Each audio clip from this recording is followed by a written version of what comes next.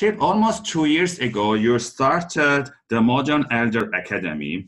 And how uh, can you tell us more about that? And how can companies can benefit from the age diversity in the workplace these days?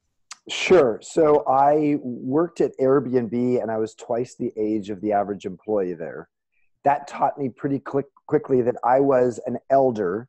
They started calling me the elder, not elderly, which is of elderly is the last few years of your life. Elder is a relative term. When you're an elder, it means that you're older than the people around you. And I was twice the age of everybody else around me, and they started calling me the modern elder. The modern elder is as curious as they are wise. And so um, I as I started spending more time with friends of mine who are similarly aged, I heard a lot of people feeling anxious and bewildered by a world where we're going to live longer, power is moving younger, and change is happening faster. And so, with all of that, I believe that there was a need for a midlife wisdom school where people could actually come uh, in midlife. Most people are between 45 and 65 who come uh, and they are looking at how to repurpose their their mastery and their wisdom in new ways in the world and um, so that's that's that's why i created it and it's been very successful it's on four acres on the beach in mexico mm-hmm. and um, we've had 500 alumni now from 17 countries so in terms of how companies can actually take advantage of age diversity to be honest with you let's start by saying that most companies don't think of age diversity as, a, as one of the demographic metrics they consider. We are very clear on gender diversity, race diversity, sexual orientation diversity, many other diversities.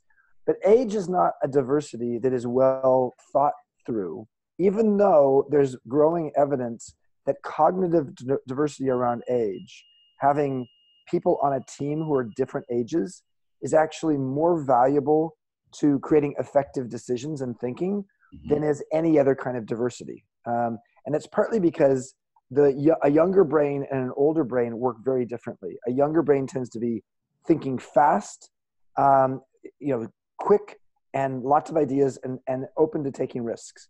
Yeah. An older brain synthesizes things a little bit more. Instead of actually focusing, they can actually see the big picture. They see the holistic. Uh, the holistic. Uh, it's like saying they can see the forest as well as the trees, um, whereas a younger person sees all the trees. And so I think because of that, um, companies are now starting to see that there's a lot of value uh, in actually bringing people of different generations together on teams and, and within their organizations. Now, some companies actually have a lot of older people, so they need young people.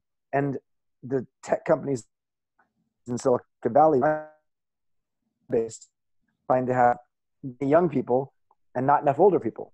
So I think the question is how what how do you increase um, the generations that you don't have in your workplace to help create a more um, a more age diverse workplace. And while you were working at Airbnb, I'm sure you've met with a lot of millennials. So, how was the interaction with them? Were you mentoring them, or they were mentoring you in terms of technology, or how was that interaction? It, the mentoring went in both directions. We would call this mutual mentoring. Mutual mentoring means that you know someone 25 years younger than me has something to teach me, often about technology or about cultural trends. Um, and I probably have something to teach them. So they, te- they often would teach me some DQ, digital intelligence, and I would teach them some EQ, some emotional intelligence. And as a result, we were both better off. Um, I think the number one piece of advice I would give to older people in a workplace place full of younger people is don't give advice if you haven't been asked. So mm-hmm. it doesn't doesn't mean you shouldn't be a mentor. It doesn't mean you shouldn't ask great questions but I, have seen older people sometimes think, okay, young people, uh, millennials, you need to sit by my feet and listen to me preach. And this is not the way it works today. You know, it's, it's not about uh, revering our elders and having, you know, all of the wisdom coming from old people to young people. It goes in both directions. So being curious, this is why I say a modern elder is as curious as they are wise. Mm-hmm. Because, because just trying to have the wisdom without understanding the context for where to put that wisdom because you have to understand the you know for me at age 52 i'm 59 almost 59 now at age 52 i had to learn what it was like to be in the tech company for the first time the tech industry for the first time so that's a beautiful thing learning and being curious helps keep us younger yeah Those are great tips. And if anyone wants uh, more information about the academy, they can just visit the website, right? That's correct. modernelderacademy.org or .com.